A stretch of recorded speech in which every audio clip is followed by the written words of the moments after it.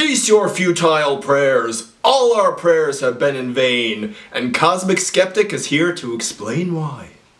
Now, just as a disclaimer before I begin, because I'm bound to offend a bunch of the people who are going to watch this. When I talk about prayer, I'm only talking about prayer concerning the three Abrahamic religions which dominate today's religious population. So if you don't conform to organized religion and you have your own personal spirituality, or you're offended by atheistic logic, then this video probably isn't for you. I take grave offense at atheistic logic, but uh, that's just because it's so bad.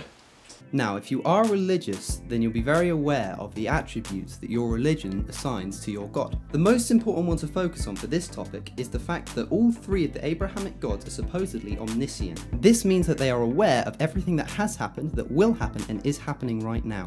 Another important point is that they all supposedly have a predetermined plan as to what's going to happen in our lives. And here lies the paradox of prayer. The type of prayer that's brought into question by these qualities are the type of prayer concerning asking God for something to happen. For instance, if you ask God for your favourite sports team to win, or for a family member to overcome a disease. The important point is that the outcome of these prayers will have one of two options, i.e. it will either happen or it won't. The team will win or the team will lose. The family member will survive or the family member will die. It's always going to be one or the other. Now the issue is, God already knows which is going to happen. He already has it because he's already planned it to happen. The future isn't a future for him because he's outside of time. This means that God already knows if the team is going to win or lose.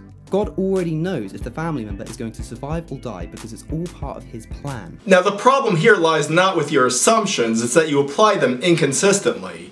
You correctly say that God has timeless foreknowledge of the outcome of the event, but that you seem to think that the prayer comes as some new information to God. In fact, God has timeless foreknowledge of your prayer as well, and can adjust the outcome accordingly. Now, to head off the inevitable objection that this somehow invalidates free will, God's knowledge of your prayer is contingent on your own free choice. Your choice is not contingent on God's foreknowledge. So when you pray to God asking Him for something, it will either already be part of his plan or not be part of his plan. If it's not part of God's plan, then it's not going to happen because God's plan is final and God's plan is the best plan. This means it's pointless to ask for something if it's not already part of God's plan because it's not going to happen anyway. On the other hand, if it is part of God's plan, then it was already going to happen regardless of whether you prayed for it or not. You seem to be operating from the assumption that everything that happens is part of God's plan, which as far as I could tell is just folk wisdom and not really scriptural in origin. Now, in Christianity, obviously God has a big plan, the whole of Christian eschatology, so if I say pray for Jesus not to return, obviously that's not going to happen. But I think on these smaller scales of time, we have some room to move some furniture around. That's why I have a YouTube channel trying to change hearts and minds.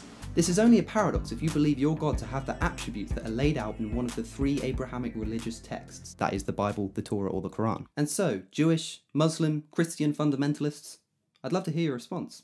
Wow, was it my imagination or was that atheist not a complete dick? I sincerely hope that you've been offended by at least one thing in this video. Oh, damn you! Atheists just really get off on this conceit that they're offending and triggering people with their superior logic. Sorry, but I'm just unimpressed. I hope you enjoyed this video. Please like, share, and subscribe. While you're at it, subscribe to the YouTube channel of my friend James Bishop. This guy has been doing great apologetic work for years on Facebook and on his website, and now he's doing stuff on YouTube, so definitely check it out. Link is in the description.